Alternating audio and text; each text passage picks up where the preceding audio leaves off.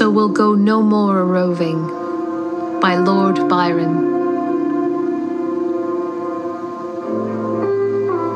So we'll go no more a roving so late into the night, though the heart be still as loving and the moon be still as bright. For the sword outwears its sheath, and the soul wears out the breast, and the heart must pause to breathe and love itself have rest. Though the night was made for loving, and the day returns too soon, yet we'll go no more a roving by the light of the moon.